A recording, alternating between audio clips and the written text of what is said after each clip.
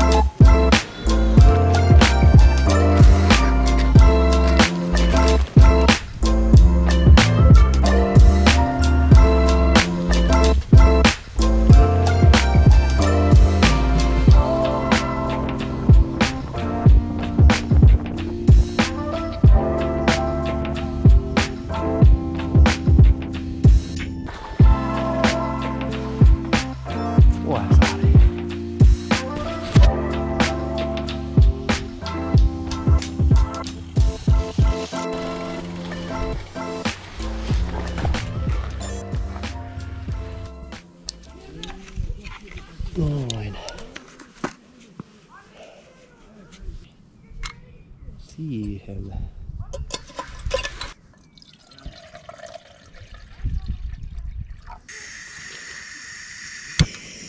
No. Sitten ootella hetki. Kahvilenkki.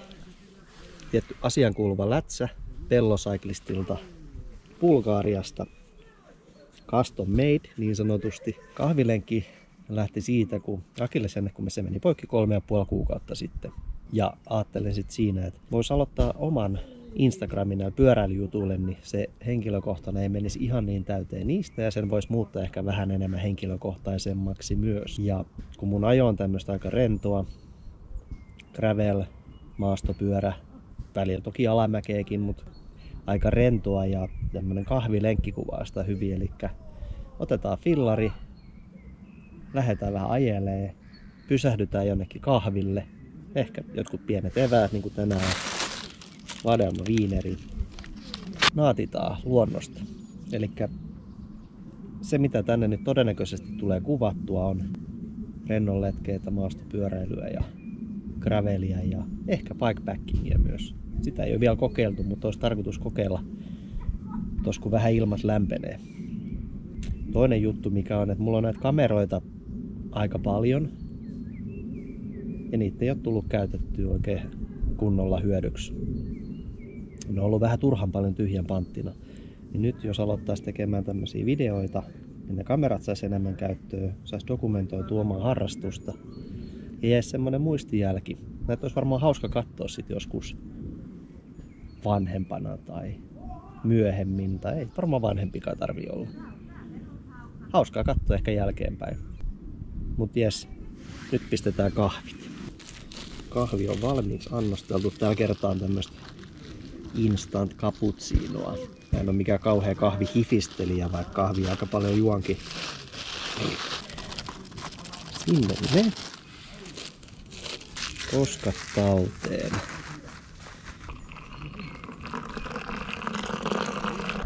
Noin.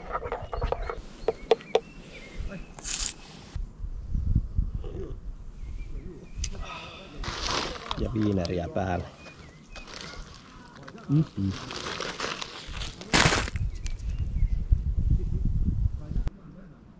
Nämä on tämmöisiä kahvilenkkejä. Tervetuloa kanavalle.